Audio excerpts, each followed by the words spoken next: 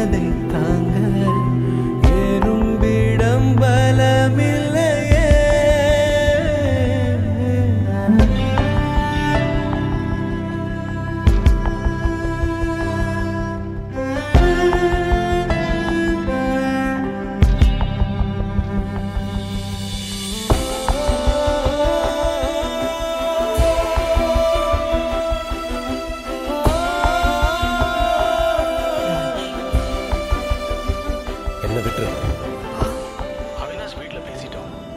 Youth visa apply பண்ணணும். கல்யாணத்தை சீக்கிரமே வச்சுக்கலாம்னு சொல்லிட்டாங்க. சரின்னு கை நினச்சிட்டோம் ஜூலை மூணு கல்யாணம். உனக்கு ஓகே தானே?